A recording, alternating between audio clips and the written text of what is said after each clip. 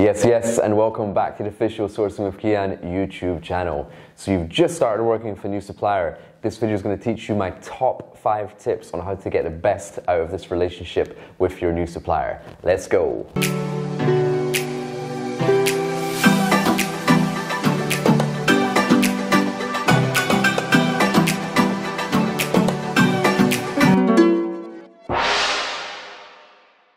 Okay, so let's just get straight into it. I'm going to spare the whole introduction stuff, but if you want to get to know me a little bit more, just check out the Sourcing with Kian channel, and it will get out. You'll probably see some videos of, you know, some more stuff that I've, that I've got up to. But anyway, um, I've been working with manufacturers in China for more than 12 years, and I've kind of put together what I've seen, you know, sellers, uh, you know, in e-commerce and Amazon and Shopify, the mistakes that they've made. And so here's like my top five tips how to stay on top uh, of these business relationships when working with Chinese suppliers.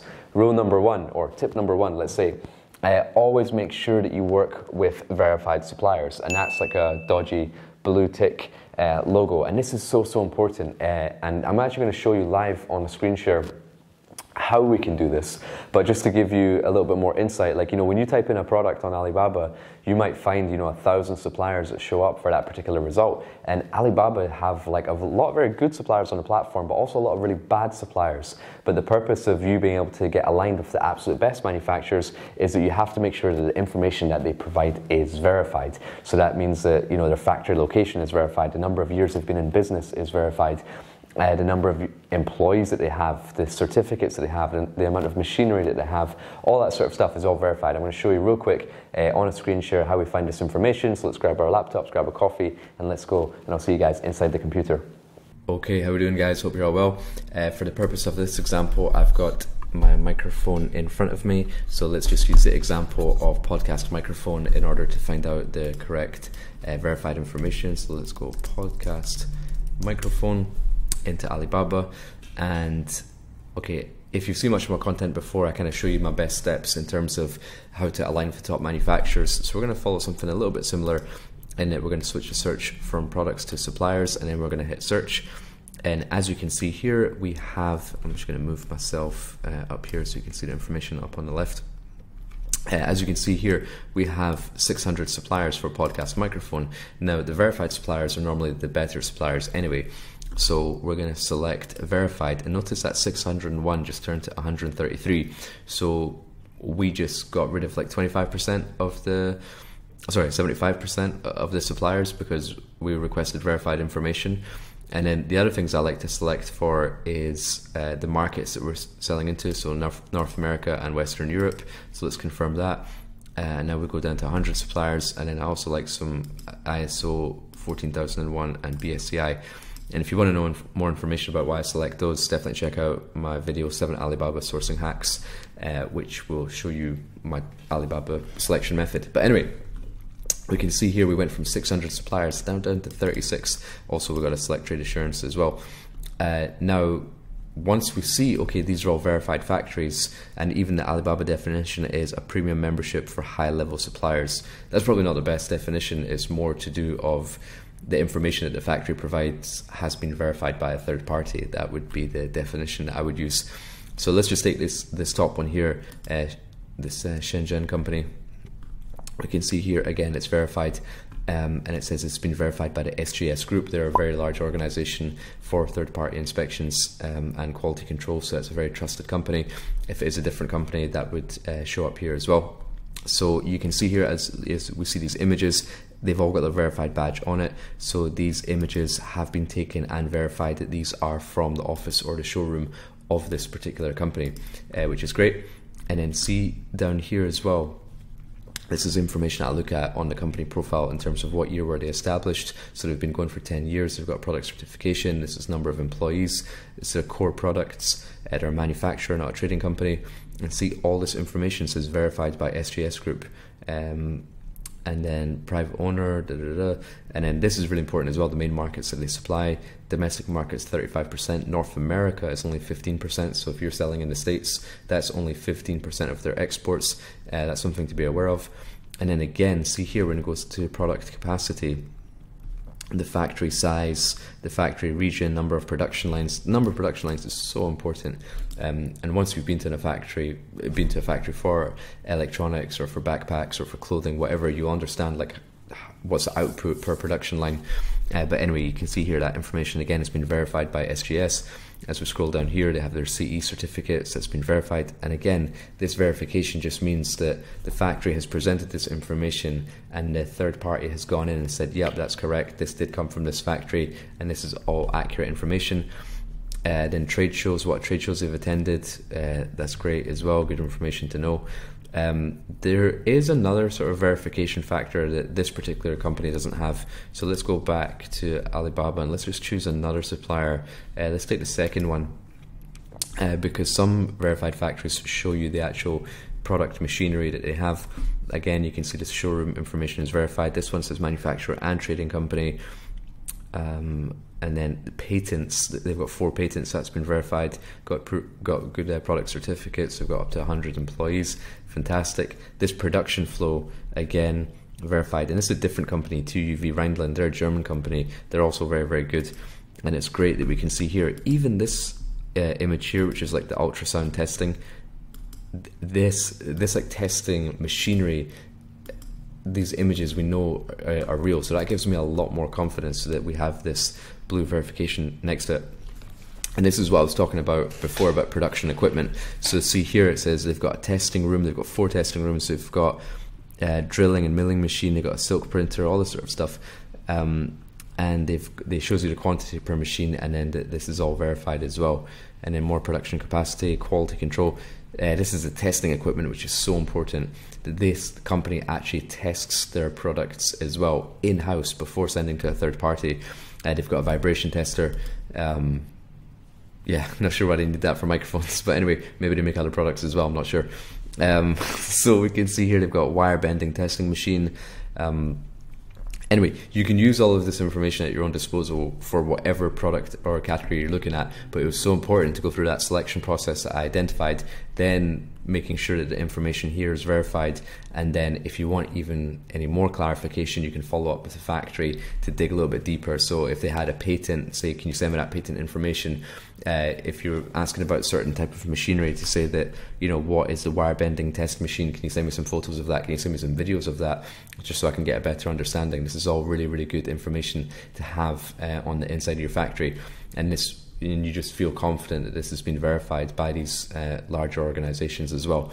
So that's the sort of information I look for when it comes to verified factories and verified information. Uh, if you have any further questions about that, drop it in the comments below and let's get back to the video. Okay, so I hope you enjoyed that little demo uh, of where we can find the verified information, how to find those suppliers, and what sort of information we've been looking for. Now, you might ask, okay, well, I found my supplier off of Alibaba. You might have found them at the Canton Fair, it might be a friend's recommendation, you might have found them from Import Records, and that verified badge is not available. So, how do I make sure that the supplier is a good one when I don't see that verified information? Well, this is a time that we need to make use uh, of, you know, this is similar stuff that we saw at, in those verified blue ticks. Now we should ask the manufacturers for that. So let's say, like, have you got any factory audits? Can you send that to us? So if they've ever manufactured for a big box retailer, uh, you know, like a Walmart or a Target or someone like that, or manufacture for a license like Disney, you know, Walmart required their own audits, Disney required their own audits. They can send you those audits and then you can review that. Same way, if they have any pa- uh, patents on their product, that you should receive those certificates. If they have any product certification in terms of legal or industry standard, in terms of if it's an electronic product, how it's been charged, or you know any sort of testing that they have, you should ask for those certificates. And you always want to verify that the company name is on those certificates and the company address is on those certificates as well.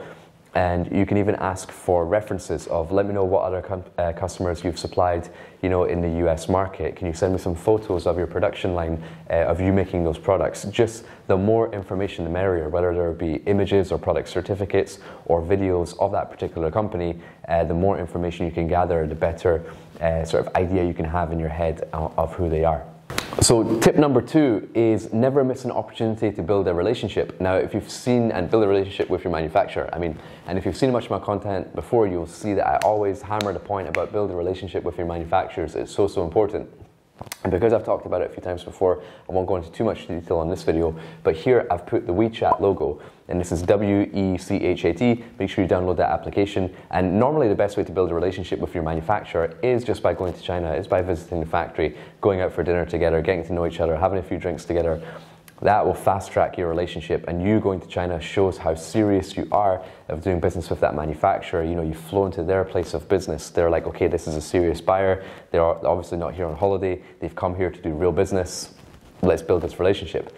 But uh, you know, at the moment, with us not being able to get out to China, WeChat is your next best alternative. Now, you want to keep all the imp- important uh, information like prices and delivery dates and stuff like that uh, to email or your Alibaba conversation, but your WeChat should be images of, hey, this is what me and my friends got up to on the weekend. Hey, we went to the game. Da da da. You should definitely come out. Uh, you know, when you get a chance, we'll we'll hang out and ask them. You know, what type of food you guys eat. You know, do you want to send some pics of um, of your Chinese New Year celebration, all that sort of stuff. Just get used to sending images and photos and getting to know each other.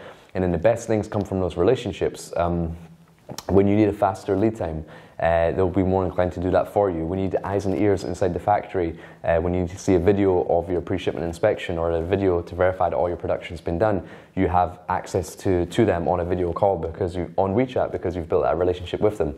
Or if you need better prices, you know you can text and stuff like that, and then that's just so different. Compare that to someone who's just written to their supplier on Alibaba. It's just like, hey, give me your best price, versus you like you know sending photos, having beers with your friends and stuff like that, you can slowly build that relationship and get to know each other, send each other voice notes, send each other videos, get on video calls to resolve things. So definitely download that uh, WeChat application, build that relationship, and that will put you in a very good way. Um, to get the best out of your manufacturers. Hey guys, hope you're getting value from this video. If you do, please make sure you hit that subscribe button down below and tap the bell ding ding so you can stay up to date on the latest of what's happening in China. And if you would like to work with me and my friends here it's my friend Lola.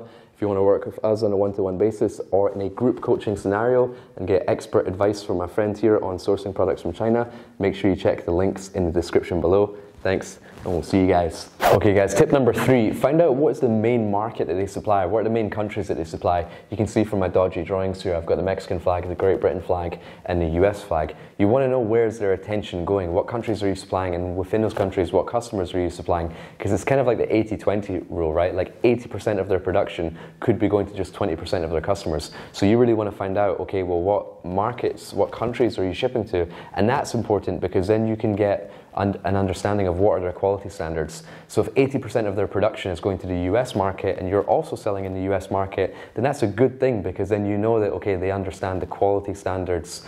Uh, for the US, you know, if we need a certain type of certification for a certain retailer, well, they're able to provide that because they've been supplying that market for many, many years.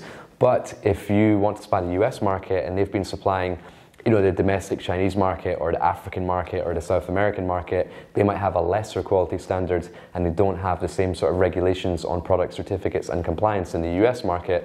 So then you want to take a deeper dive into, well, can you pass this certificate and do you have this uh, audit on this product and stuff like that. So definitely verify where their attention is going, uh, who they're supplying. And another way that you can verify that information is you can go to a website called importyeti.com, and I'll have that appear live on screen here. And I've done some previous screen shares on this before, so definitely check out some of my, my previous videos. My January uh, 2021 sourcing update video uh, had a screen share of me showing how to use Import Yeti. But when you, if, if your supplier is, is manufacturing for another customer in the United States and you have that brand name of that United States customer, you can type them into Import Yeti, and then Import Yeti will show you who their suppliers are, how many you know containers that they shipped, what date that they shipped, all that sort of stuff. So then you can verify that that factory that uh, that factory has actually manufactured uh, for those companies. So just use importyeti.com, and if you want to see a live screen share, as I said, check out that January 2021 sourcing video. Uh, 2022, sorry, I keep, for, I keep forgetting what year it is.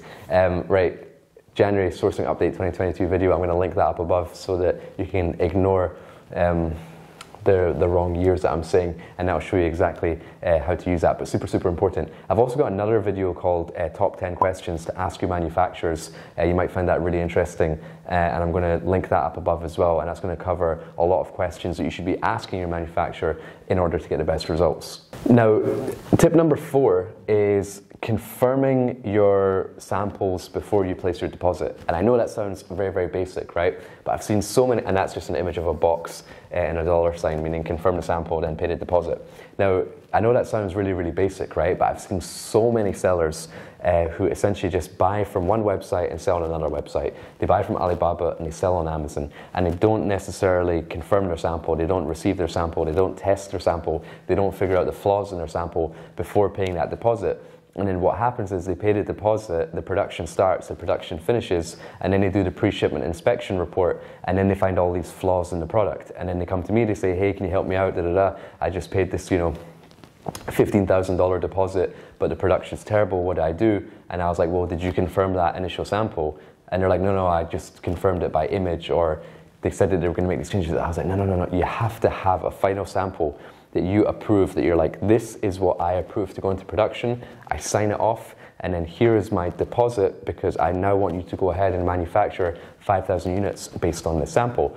And that's not enough. Like once you've confirmed that pre-production sample, then they do the production, and then before you make the final payment, then you have to get them to send what's called a pre-shipment sample. And the pre-production sample, what you confirmed, and the shipment sample, which is a sample from the actual production, is what you've actually received, and you should get them, and they should be exactly the same. And if there's not a 100% match, then you have to discuss that and figure it out before you pay that remaining balance. And um, again, I've got an awesome video uh, on the sample process where I talk about this whole thing in maybe like a 20 minute video, maybe 15 minute video in my warehouse in Scotland, and I show you my whole process and I share with you my templates and forms and what I use, how to log my samples. So definitely check that video out. I'm going to link that up above and also in the description uh, of this video below. But this process is so, so uh, important. And one final tip I would give on this as well is that once you start to do many items or many orders with that one supplier, on the production label, you want to have your order number.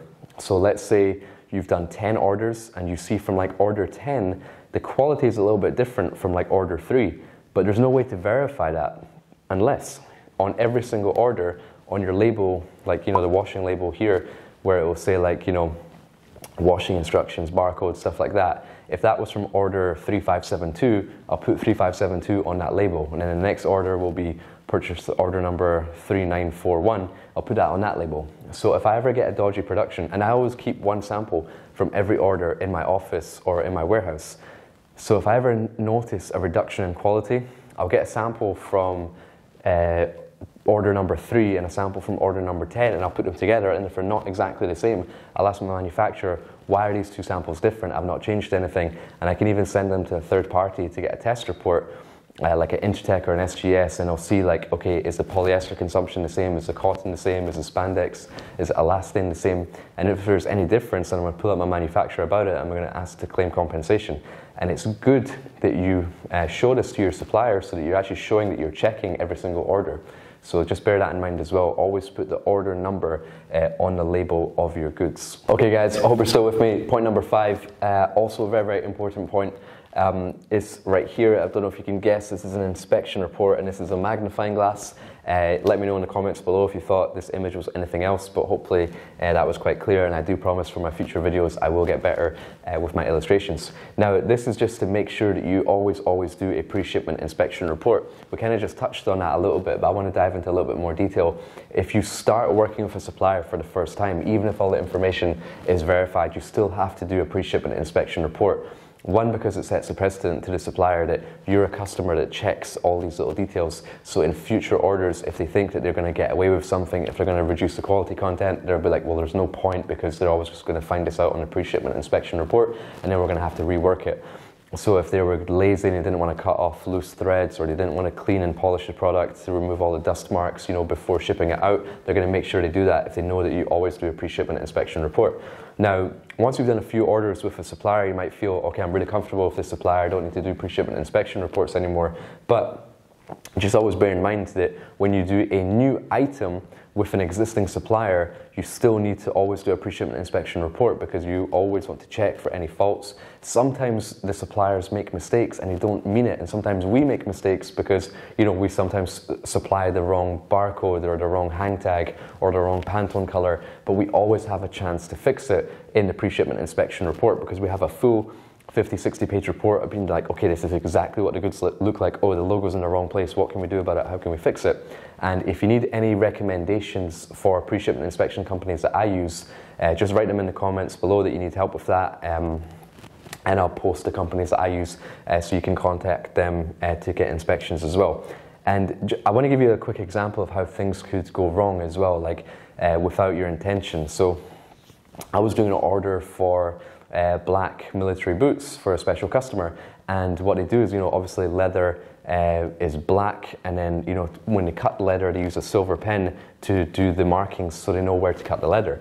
And so they cut the, the, the leather based on the silver pen markings. But for whatever reason, whoever was in charge of quality control that day maybe didn't show up to work, that they were off sick. And then when they assembled these boots and then they placed them in the boxes, on the pre shipment inspection report, we noticed that a lot of these black military boots just had silver and grey lines on them. And we're like, what's this? A customer will never accept it. And we found out that that was from the cutting lines.